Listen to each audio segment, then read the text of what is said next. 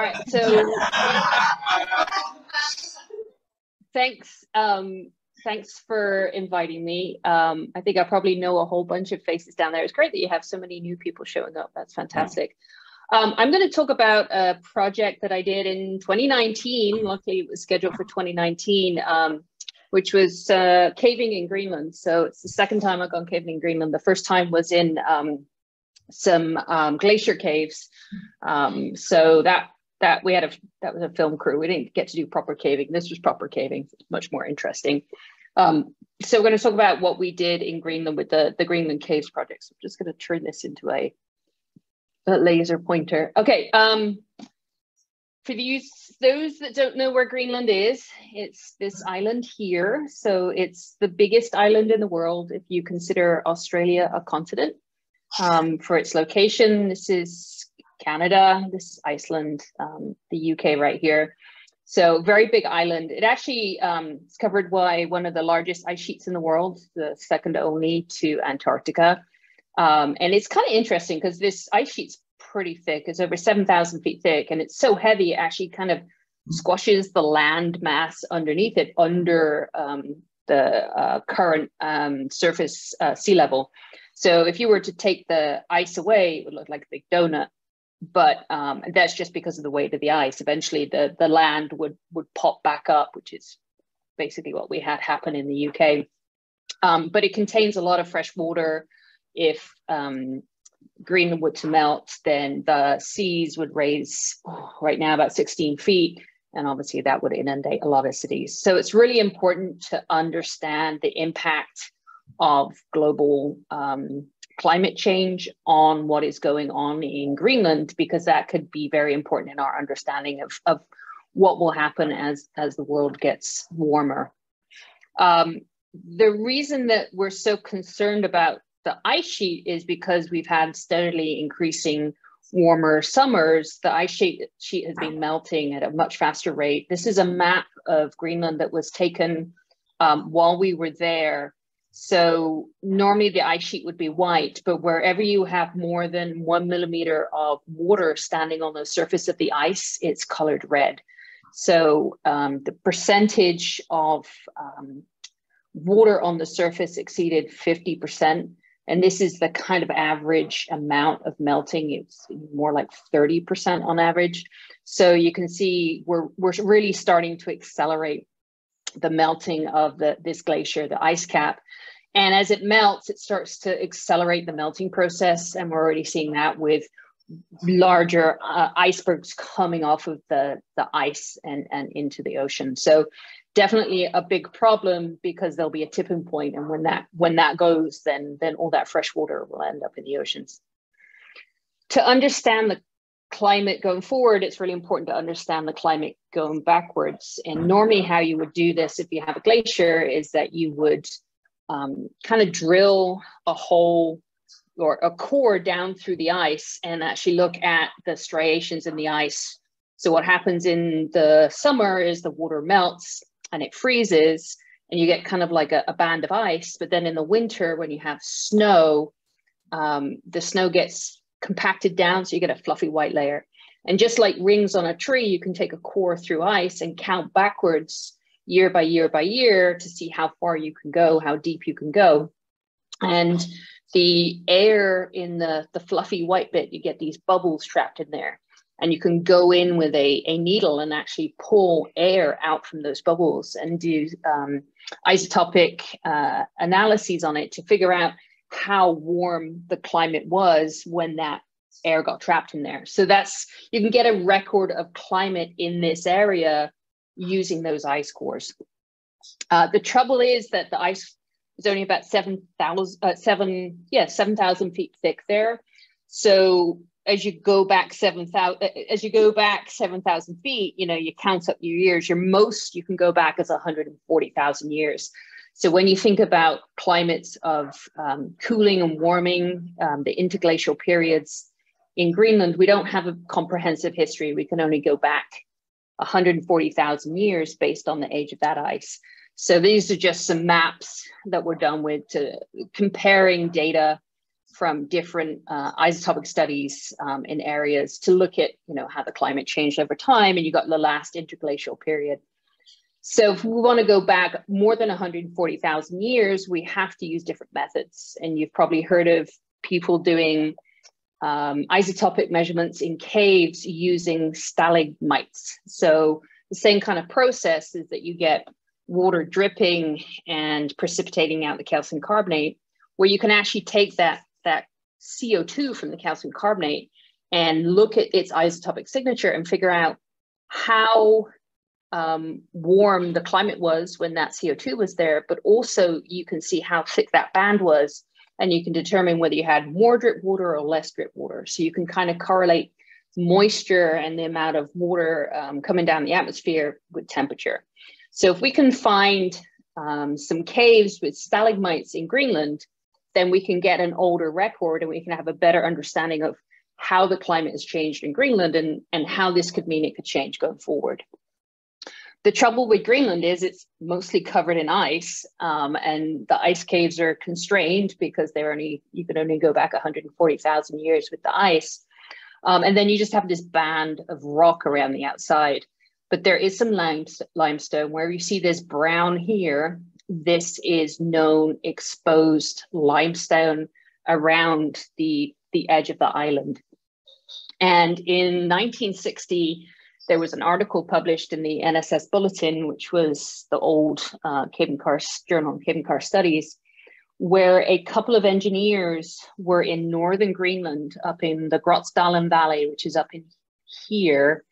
Um, and the reason they were there was the US Air Force was putting in Air Force uh, uh, runways because they wanted to have nuclear weapons in northern Greenland because if you had a nuclear weapon stationed here, you could go straight over the pole and into Russia. So they put a whole bunch of runways um, uh, along this eastern coast of Greenland to, uh, you know, basically give them access with bombs to Russia, as you would.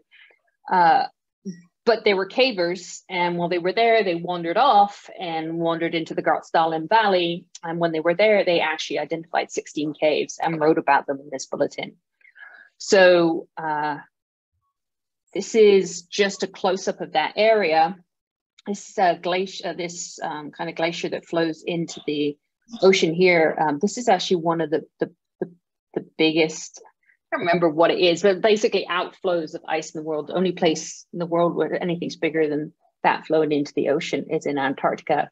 But this is where that area is in, in closer detail. And you see we're above 80 degrees north um, the landing strip is in on the edge of this lake. The le- lake is called Centrumsö. So So there's a, a landing strip here, um, and then the Grotsdalen Valley is this area here. This is where we were working, but these are other areas where we, we found caves. And you notice there's no ice cover here, and that's because this is a polar desert. The climate is such that the snow kind of goes to the south and goes to the north, and this area doesn't get any precipitation from snow. I think the entire year it gets about 20 centimeters of snow. So, because of that, it's a polar desert and there's no snow cover, so you can walk around and go look for caves. So, Gina Moseley is a climate scientist and caver at the University of Innsbruck. And she read this NSS news article and was like, well, there's there's caves in Greenland, and she's an isotope geochemist. Maybe I'll go up there and see if there's any uh, stalagmites. So no one had been up there since 1960. It's incredibly difficult to get to. You're more than a thousand miles north of the closest um, inhabited place. So she got a, a grant from National Geographic, and they were able to hire a plane to drop her and four other people off with a boat and camping gear at Centrumsö. They inflated their boat and they drove the boat across Centrumsö and set up a base camp and then had to hike 43 miles into Grotsdalen Valley to go look for these caves. And you'll see a lot of guns in the images here. That's because this is uh, polar bear territory. And so you can have black bears, brown bears, grizzly bears, and then polar bears. Black bears and brown bears are they they can they're not really predators they're more scavengers where polar bears don't scavenge, they only hunt. So if you encountered a black bear or a brown bear, you might be able to frighten it off and it's not really that fussed. But if a polar bear sees you, you are prey and it's going to attack. So the entire time you were there, you're not allowed to do anything without carrying a gun on you. Um, even going to the bathroom, even walking between buildings, um, you have to carry a gun with you in case there's a polar bear. So anyway, they hiked 43 miles to the Grotsdalen Valley where these um, uh, engineers in the 1960s saw the caves and they relocated the caves. You can see there's an entrance here. This is a U-shaped cave. The other entrance pops out here. This is just an alcove, it doesn't go anywhere. Um, these are alcoves, that's a cave, and this is a really nice big cave around here. Very challenging to get to. You have to kind of hike up this scree slope to get to them. So they went up there and they found um, some uh, really nice caves. This is Crystal Palace because of all the ice crystals that are found inside it.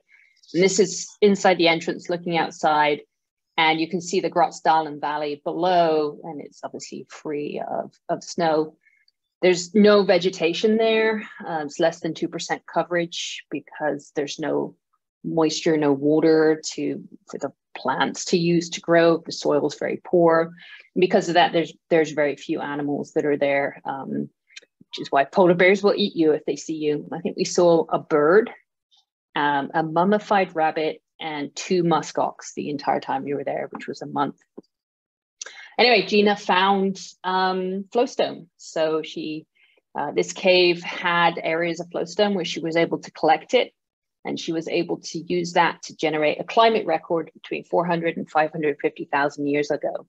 So it ended up being a really valuable look into climate in Greenland over that 150,000 year time span. And she was able to use that research data to get additional funding. So in 20, I believe it was 2017, she got a START award from the Austrian Science Foundation which was enough to pay for a full size return, expedition return to the Grotsdalen Valley to, to go look and see if we could find other caves that had a, a broader range of flowstone in it so we could actually expand that climate record. And she was able to put a bigger team together. So rather than just Gina and um, people helping her, uh, she actually brought some glaciologists, geologists, and, and microbiologists. So this is Gina with her PhD student, Paul. Uh, this is um, Paul Smith from the University of Oxford. He did the original geology this area. Um, this is Andrew, um, who is a professor of uh, glaciology at the University of Sheffield, and his graduate student, Adam. Um, and then I was brought along as a geomicrobiologist. Robbie Shone was the expedition photographer. If you don't know Robbie, he's a Nat Geo photographer um, and uh, Gina's husband. And then Chris Blakely, he's the international trainer for Petzl, which was kind of cool because we got to work with some Petzl swag. And there were these two guys that were with us as well. And they ended up being the pilot for the helicopter and his mechanics. So there was one helicopter on the eastern side of Greenland. So for that, you know, 2,000 mile long stretch, there was one helicopter and we rented it for three weeks. Um, and we even put a sticker on the front of it. Uh, so we had our own pilot, um, who was Stig Eric. And because we're thousands of miles from any way of repairing the helicopter, um, he was up there with his uh, mechanic Hans Christian, who could basically, if it broke down, fix it because there was no way of getting to us if something happened to that helicopter. So that was the team. To get everything there, there is no um, there. You can't just kind of put everything in a plane and take it with you because we're so remote.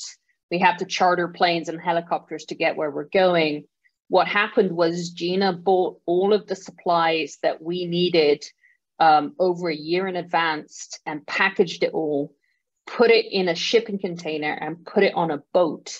And it went by boat to northern Greenland where it was dropped off at a weather station so that we could actually pick it up a, a year later. So this is the level of organization is everything has to get shipped there a year in advance, and we were all allowed to bring about 35 pounds of personal gear. Everything else had to be shipped in advance. And it had to be 35 pounds of personal gear because when you added up the weight of all the people and our stuff, the plane could only carry a thousand kilos. So we had to be under those limits. So this is how we, we got there. So this is Greenland and this is Iceland. So the first thing we did was all fly into Reykjavik and spent a day in Reykjavik getting together. Uh, then we flew from Reykjavik to Akureyri, which is a small town. It's a small fishing village. It's a small fishing town on the north side of Iceland. And then from there, we flew to Constable Point, which is this point right here on Greenland. Uh, we had to um, charter a plane. So we chartered a plane for a week on the front end and a week on the back end of the expedition because we didn't know if we'd have a good weather window. So the plane had to just basically be hanging about, ready to take us up there. So this is the plane in Akureyri. Then we flew from Akureyri to Greenland across the um, uh, North Atlantic. You see it's starting to get ice. This was in July. And then flew into Constable Point, and you can see the runway at Constable Point. This is the only runway on the eastern side of Greenland. Um, this was one of the run- runways that was built by the US military. Um, and then it was sold to Denmark for a dollar. And they have a little bit of infrastructure there. It's mostly for tourists. Um, tourists will stay in a hotel there and, and trek around. But it's a really, really basic hotel. It doesn't have any enough infrastructure to support like bathrooms. So the bathroom is literally it's not quite a bucket. It's a it's more like a um, a groover, but you basically it all goes in a bag, and and that's their hotel as you stay at their hotel. Everything is bottled water. We land there, um, fuel up again, um, take off, and then fly north from Constable Point to Danmarkshavn. And Danmarkshavn is the northernmost habited, or at least settlement. Um, there could be some Inuit living further north, but the known northernmost habited area of Greenland. Um, flying there, more ice, um, amazing valleys, obviously not being touched. And then we arrive at Danmarkshavn. And this is a pretty famous place for polar exploration. This is where a lot of the expeditions that headed up to find the North Pole came from. A lot of the expeditions that tried to find the Northwest Passage actually stopped at Danmarkshavn. And you can see that they have shipping containers there. So this is a weather station for the Danish government. It's the, I believe, the northerly most weather station in the world. And uh, they get uh, shipping containers dropped off once every two years. So everything they need for two years, apart from fresh food, which uh, fresh vegetables and fruit that comes in by plane every now and again, um, comes in these shipping containers. So we landed there. It's not a commercial airport or anything. Um, it's just some guys managing this weather station. So they picked up all our gear in their in their digger and took it to where we stayed. And then the next day we started prepping all the gear for the expedition. So you can see that this is the shipping container with all the boxes. These are everybody had their own box of food. We were rationed for six weeks because we had to be prepared to be stuck on the ice because of, or not on the ice, there was no ice there, um, stuck um, in the northern area for two weeks because of bad weather. So we had to be prepared for that. So they're starting to put stuff together. And then you see in the back, there's these cans of fuel. And that was the fuel for the helicopter. So what happened is we landed, we stayed overnight, and then they started filling up the plane with these um, drums of fuel. The plane would take as many as it could carry weight wise, fly up to the uh, to Centrumsø, dump them, fly back. It would fuel up, so it's fueling up from some of the uh, drums that Gina took up there or had shipped up there. Then it would fly another bunch up so that we had enough fuel for the helicopter because the helicopter had to fly for Danmarkshavn up to Centrumsø, but it needed enough fuel to fly back. It was a two and a half hour trip for the helicopter. Um, we did see polar bears. This was right outside of the kitchen in Danmarkshavn. Um, and yeah, this was my first experience. They have a gun hanging by the door. They have a series of guns hanging by the door. And if you go outside to do anything, even if it's to walk to the um, the bedroom uh, cabin, which is 10 feet away, you have to take a gun. And they're like, don't just take the gun, look left and right like you're crossing the road when you go out there. So that was Danmarkshavn. So the day after that, when all the fuel was dropped off in um, Centrumsø, then we took, um, we got in the plane and we're taken up to Centrumsø. So So there we are going up, crossing the ice. Everybody's very excited. All the glaciologists taking lots of photos. Um, and then this is Centrumsø, and this is the landing strip, which is just this, this dirt peninsula um, by this delta that is in permafrost, so it's nice and hard so the plane can land on it. the plane coming in. You can see our um, barrels of fuel stored up. And then everything comes out of the plane. Um, and by the time we've got everything out of the plane, the helicopter has flown up there.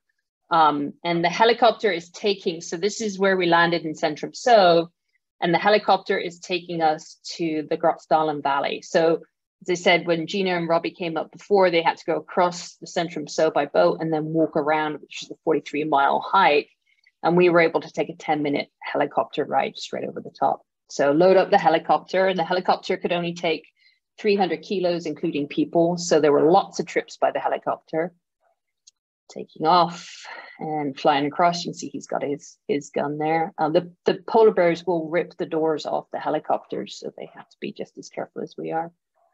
And then we landed in the Grotsdalen Valley, again, looking up at that, that limestone cliff with the caves in it. Um, this is our food tent. So we had a tent in case the weather was bad, but there were some days it was, you know, the high might have been freezing. But when we got there, they were having one of the hottest uh, days in July they'd ever had. So it was, you know, it was, you know, maybe mid 60s when we got there. We had to be prepared for weather between minus 20 and plus and, and 80. And so, uh, so we were kind of prepared for that. And the food tent is a long, long way away from the um, where we slept. Um, it's downward wind from where we slept, next to water here make it easy. Um, and then the tents have to be put in a line because if the polar bear wanders into camp, you don't want to have a circle and have him trapped. Um, and then this is um, Paul, Gina's graduate student, um, setting up the bear fence, which we needed to have around when we camped. You can see that, that cliff of limestone above us. So this is the bear fence. It is a series of rape alarms that are all connected together in a circle around the tents with string. And the idea is that if a bear wanders into the camp, the rape alarm gets pulled, and then that gives us two or three seconds to know that there's a bear wandering in camp. Um, this is, I'm just going to show this. The sound, I can't, we, we spent a lot of time trying to get the sound on work. So I'm not sure, is it going to work? Oh, I got to turn that off to get it to work, I think. Um, you can do that. Here we go. So this is Gina. So I'm not sure if you can hear the sound, but that's her going through the, the bear fence there, triggering it off. Um, and then guns again. So we actually had to sleep with loaded uh, rifles in the tent because if a bear came in, you had to be able to jump up and, and deal with it. And these were high powered rifles with um, hollow tipped bullets. I'm not a gun person, but um, polar bear hair, because they need it to insulate, is hollow. So you have this very thick hollow hair that surrounds them. And because of that, it's very difficult to penetrate. So you have to have these high powered rifle, rifles with hollow tip bullets to actually penetrate through it. And there's 12 steps um, when dealing with bears. Like number one being like they don't even notice you're there, and the twelfth step is um, you know you shoot the bear and you do it properly. And um, they really do not want you shooting bears. So there's all these other um, avoidance steps you have to take, but you know sometimes you don't have a lot of choice. And um, yeah, I didn't sleep with a gun in my tent. Um, but everybody else had a loaded gun in theirs. And one night, Robbie got up to pee and tripped over the bear fence. And all you could hear him was like, "Stop! Stop! Stop! It's me! It's me! It's me!" Because you know you get all these people that are jumping up with with loaded guns. Um, and then Robbie is a pretty famous cave photographer, but if you know him well, he's also known for making Shone thrones. And Shone thrones are these pit toilets that he likes to build. He builds them in caves and he builds them in campsites. Um, so this was the, it, you can see there was a huge rock up here that he trundled down to make the back of the Shone throne. And he found some sandstone and that was on either side because the sandstone would warm up faster than the limestone. So you'd actually have a warm seat to sit on while you were sitting on the Shone throne. And it even had a little table there. So you could sit on the Shone throne and use it while you were having a, a beautiful view of the Grotsdalen Valley. And this is that cliff with all the, the caves in it. So we actually explored caves all the way from back over here, all the way around the front. Um, we accessed these ones at the back, going up this valley and climbing up here. And then the ones at the front, we climbed up this. This was a really amazing pavement to climb up to get to the, the there is a contact between two different kinds of limestone and all the caves formed there. Getting up was trick, it's pretty hard work. Can see us coming up, how steep it was. And once you get up there, it's pretty cliffy. So we needed to, to do a lot of traverse lines to get around to entrances. Um, this is pretty, pretty exposed when we're up there. This is looking out of the Crystal Palace entrance. And again, you can see all this limestone. It's really old, really weathered limestone. So uh, not, not a lot of cave entrances left. It's all kind of weathered away. Looking from the entrance down at camp. So um, food tent is all the way around the corner here by the river. This was a tent that was set up for um, doing entomology, looking at insects up there. And this is where we were camped. And that's our helicopter and our pilot there. It was kind of cool. He'd fly up and wave at us, like just kind of hover outside the cave entrance and then take off. This is um, doing the science in the cave. So this is Gina and her graduate student. They found some more flowstone. So this is the first cave that she, the, the cave she found the previous record in, and then we went there first um, to collect more samples. Um, and then this is why it's called Crystal Palace, um, going back there. This is hoarfrost. So there's actually, because the caves are in permafrost, so they're, the, the rock is in permanently frozen water and the rock itself is very, very cold. The, the rock in this cave was minus nine degrees centigrade, which I'm going to try and remember what that would be. So it would be, I don't think it would be around 20, maybe 24 degrees uh, Fahrenheit. So when moisture blows in, it just, the moisture just freezes against the rock and you get this hoarfrost. And these crystals here aren't that long. It's kind of hard to get an idea of scale. They're maybe two, three inches long, but we did see hoarfrost crystals that were over a foot long. It's really spectacular. This is me sitting outside. Um, I, I did, um, I mapped, I taught the graduate student how to map and the two of us mapped all the caves. It was really, really hard to calibrate the disto because the field lines here are dipping almost vertically into the ground because we're 82 degrees north. So for those of you that calibrate distos, I can always get my deltas down to 0.2 or 0.3 with no effort. And the first time I tried it, the delta was five. It was just a nightmare. It took ages to get these these things. Um, I even I even used the satellite phone to text Derek and like, what the hell is going on?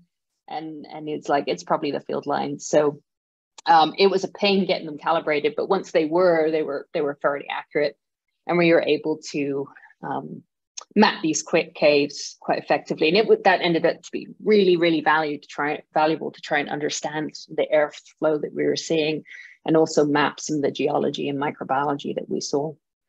Um, oh, and I should say, had to keep coming out because it was so cold in these caves that the battery in the, the phone would get so cold it would lose its charge, and I had to come out and charge it up um, with a little pocket um, uh, power bank just so I could survey these really quite short caves. There was some microbiology in this one. It looks like an old biofilm. Um, this is right at the contacts, and I think there was some sulfur in there. So these are probably hydrogen sulfide streamers. This was getting up into Cairn Cave. Um, so Chris is pretty good climber, getting up there. Um, and uh, he would go up and rig the ropes for us to climb on up. And this one was called Cairn Cave because there's a big cairn in the entrance. And when we looked inside, the folks who published that article in the 60s um, had left um, a note in there with their names on. And the really interesting thing about these caves is at the back, they usually had these ice plugs. So you can kind of see it's clear up here and you could look into the ice plug, you know, 10, 12, sometimes 15 feet and see that the cave kept going. So we think what's happening is the permafrost, the frozen water is getting extruded out of the cave like toothpaste out of a tube, but you, it's encountering very dry, very cold air um, during the winter, and that's kind of lyophilizing. It's causing the surface to melt and evaporate. Um, so you have this kind of push and pull between the ice getting squished out and the, the air drying it out from the cave side. So um, they always seem to be about the same distance back in the caves, and it's probably heavily in, influenced by by climate. But I can imagine caves like this. I mean, they just have the look and feel of a cave that would probably go a couple of thousand feet, but you can only go 60 feet and then you hit this ice. They found uh, these are a novel speleothem that we found. I, I found them first in Crystal Palace and I looked at them. Said, these look weird. And nobody had really noticed them and I started looking and I found them in every other cave that we went to. And they seem to form right where water is condensing in the day. So it gets a little bit cooler at night, um, and that ice would freeze, the water would freeze to ice and then condense again during the day. So we thought that maybe this was a precipitation caused by freezing water. So you get these um, condensate on the surface, which has no calcium carbonate in it, in it's very aggressive water, it would land on the surface of the, the, the host rock, the, the limestone, and cause dissolution. And then when it froze, um, that water crystal as was freezing would exclude the calcium carbonate and cause it to reprecipitate. And so you end up with these itty bitty tiny little spires. They're much, much narrower than a drop of water. So we know it's not a drop of water that's forming them. So they'd be about, I don't know, centimeter long, one to two millimeters wide. I have an amazing graduate student who's able to get thin sections and we are able to say that you see these laminations and we don't know if these laminations are daily or seasonal laminations.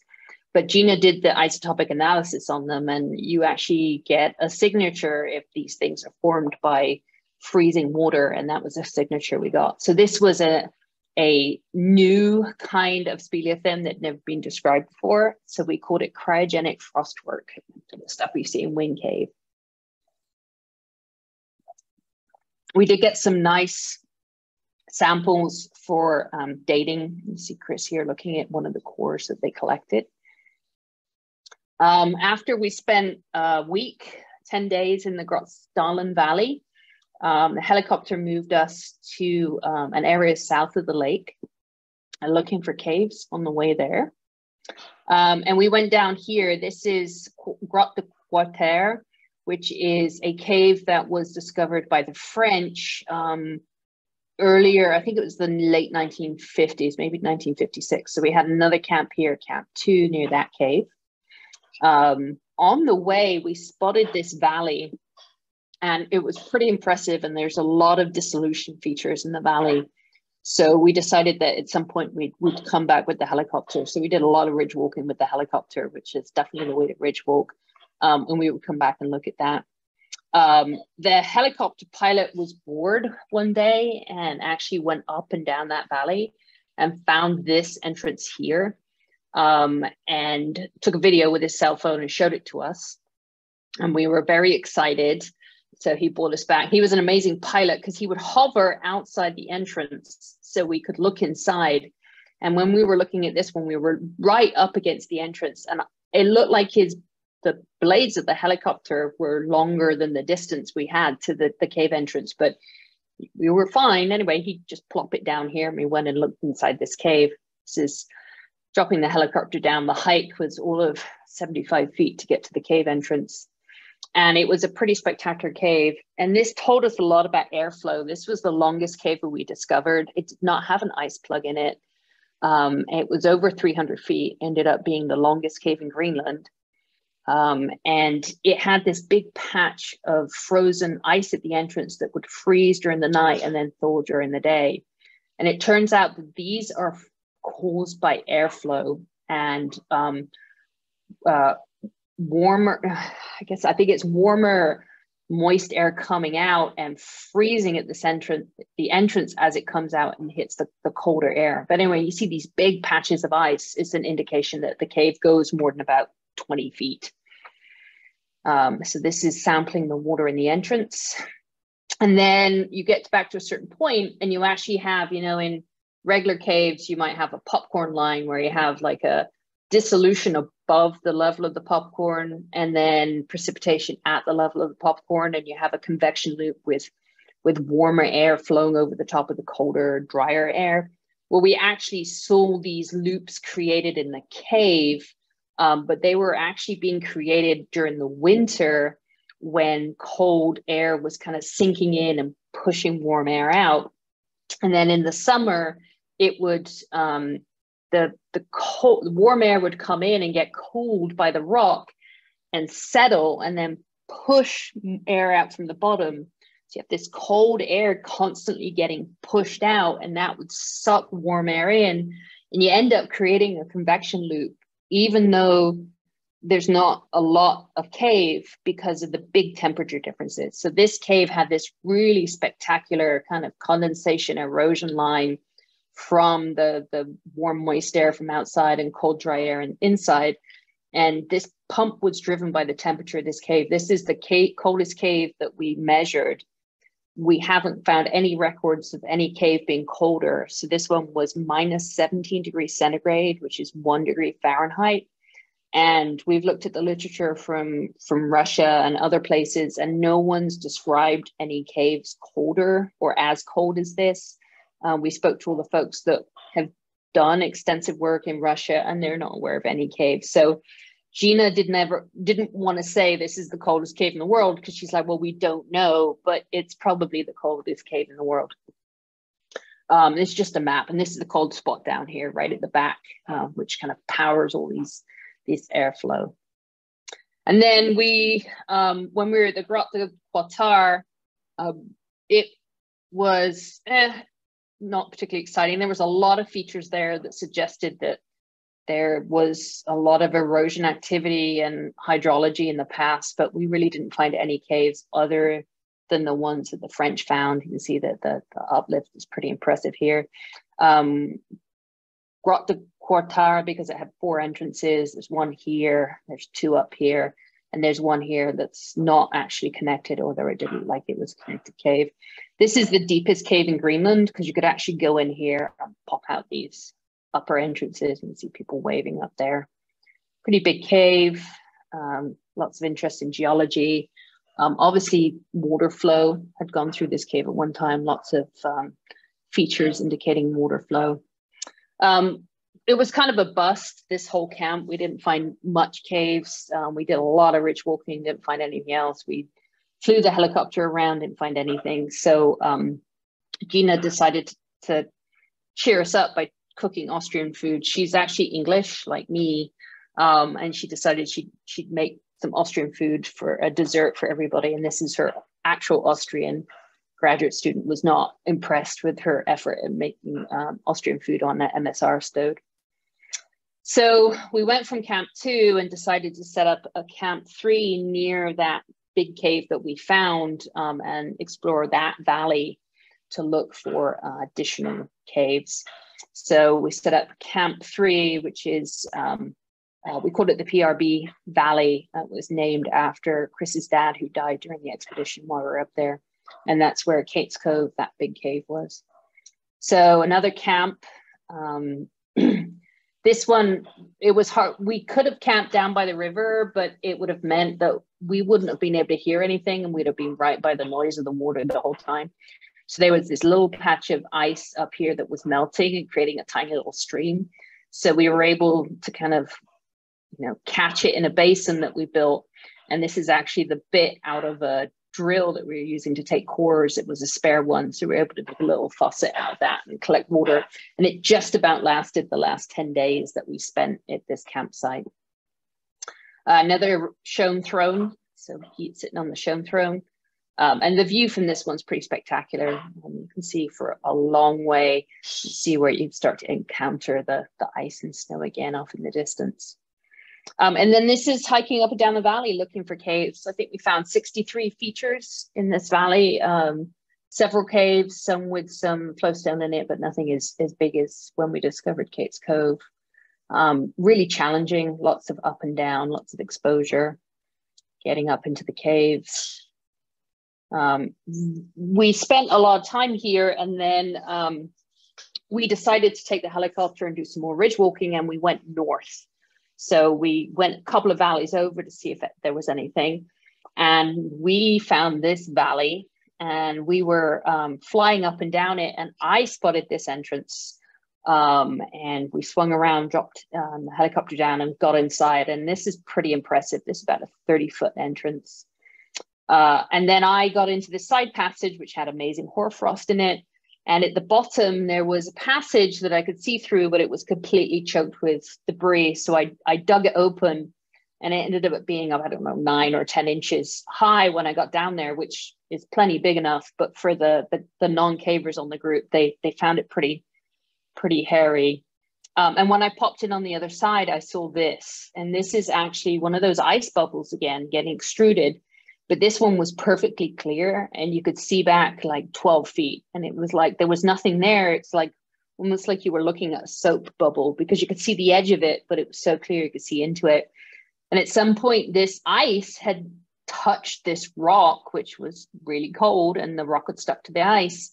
And as the ice moved it picked up and carried the, the rock. And you can see that cold dry air is starting to lie off lyophilize starting to dry that ice um, and so at some point it's going to just drop that rock. And there's Chris coming through that cool way.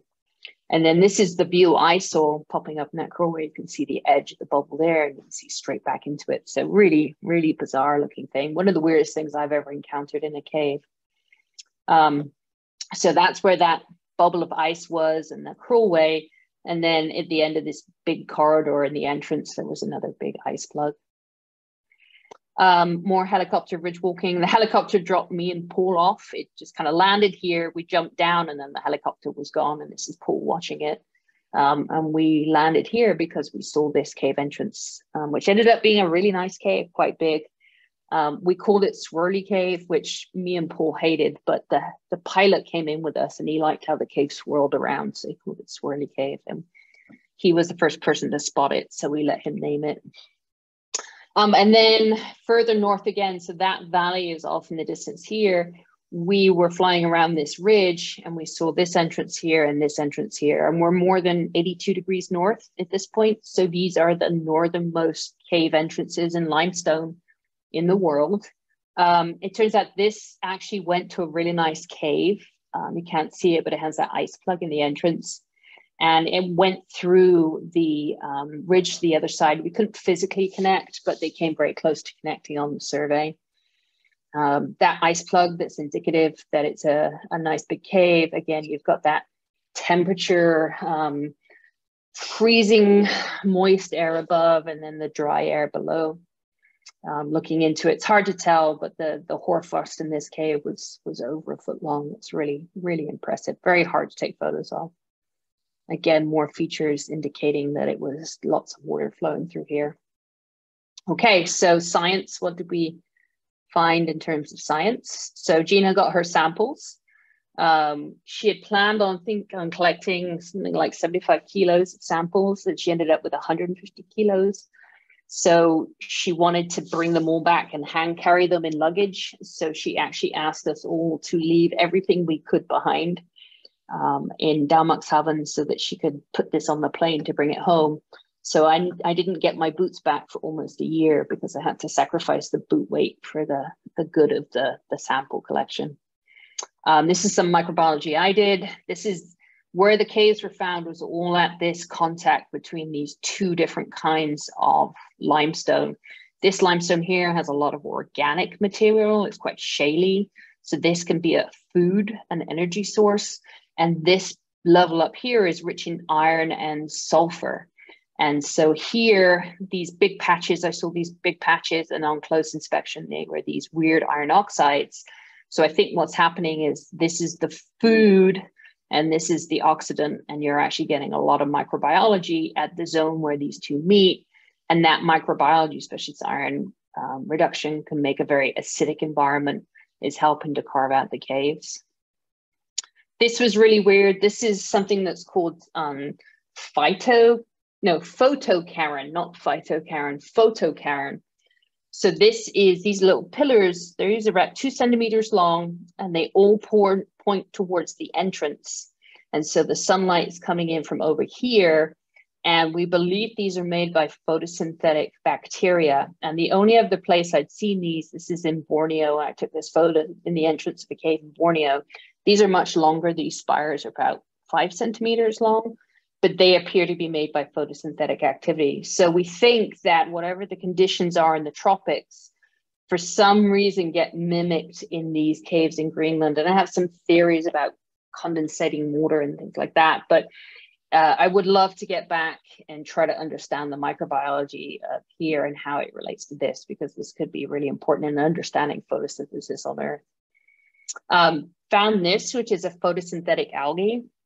It's growing on a, um, a raptor pellet. So if you have a bird that consumes small mammals, it just eats the whole thing whole, whole and then it pukes back up the hair and the bones, and you get this pellet well, there's not a lot of nutrients in these caves, but these pellets are rich in phosphorus and rich in nitrogen, which life needs to grow.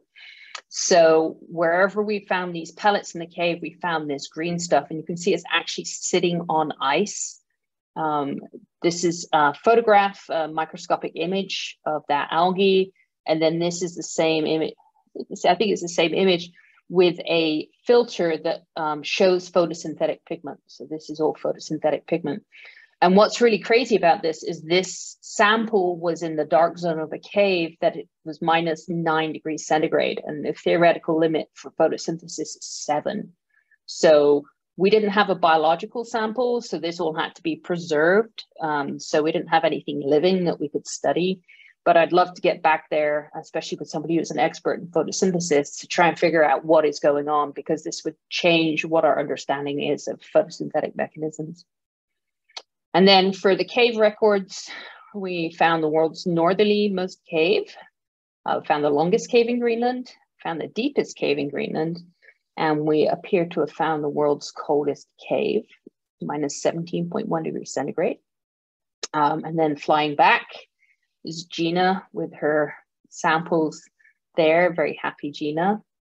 Um, and really, all the thanks go to uh, Gina for putting this pretty wild and fun expedition and asked together and asking me to be part of it, and also the Greenland Northeast Greenland Case Project.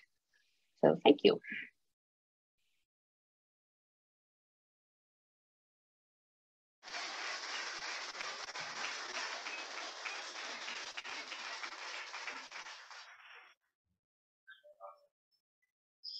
Oh, that's that's way too complicated. I don't know where that light switch is.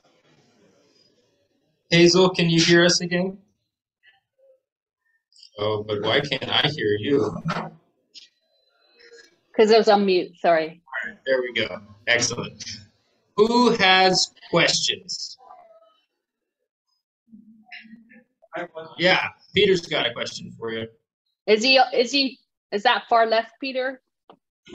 Yes. Here, if you stand in front of the camera, you can have the mic. You can see and hear you. Hey, Hazel. Hey, Peter. Um, one of your one of your slides, you just showed your first cave map, and then you were showing a picture of a wall and talking about some microbiology. And on the wall, there were some pockets that looked like tafone, which we see in caves in West Texas. Is that real, or am I off base there? describe i've not heard that term before can you describe it a bunch of brown pockets in bedrock that are a weird solution feature yeah and is it the same kind of stuff you see sometimes in kentucky i don't know yeah i'm, yeah, I'm thinking like diamond caverns places like that so i I th- so that um, Ford formation that had the iron in it also has some sulfides, but they're it's regional. It's quite sporadic. So there's regions where it's high and regions where it's not. And I think that that cave was probably an area where there was a lot of sulfide, which was powering a sulfidic system. So you were getting biofilm. So that's much more like a fossilized biofilm than what you're describing. I'm really familiar with what you're describing and I see it a lot, but I also see it associated with caves. And I don't know if you'll find this in Texas because a lot of your caves are wet, but um, caves that tend to have gypsum deposits.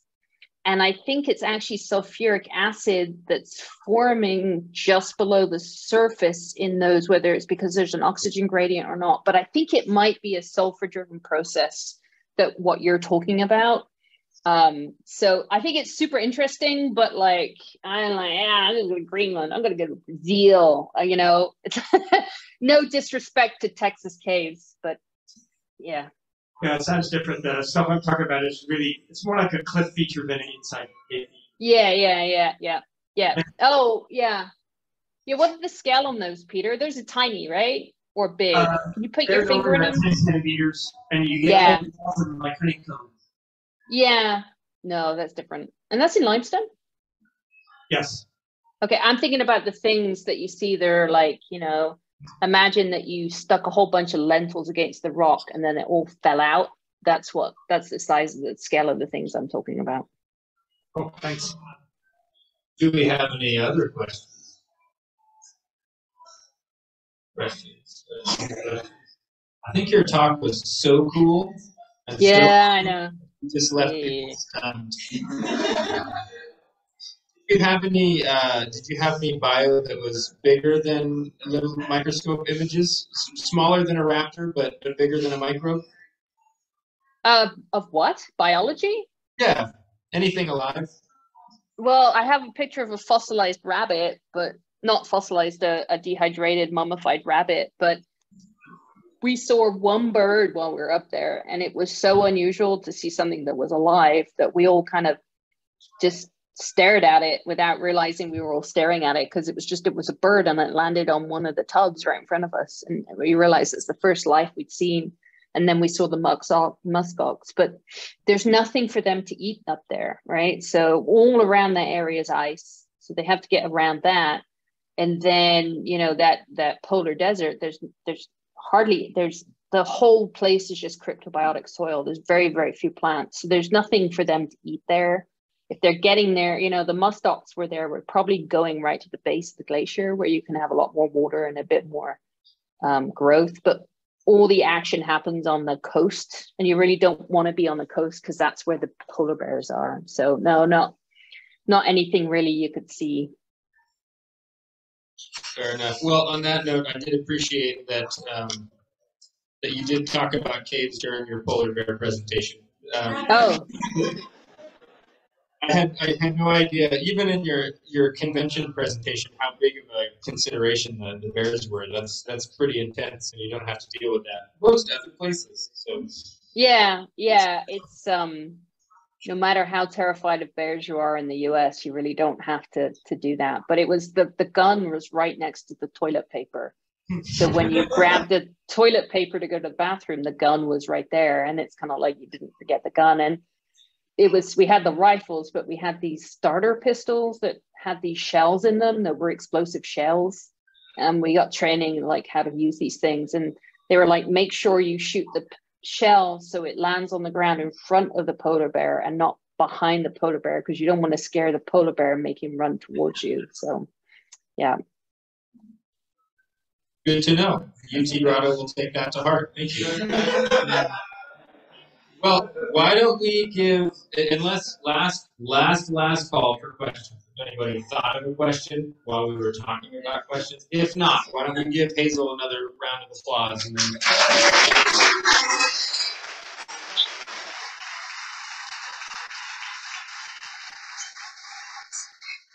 Thanks, everyone.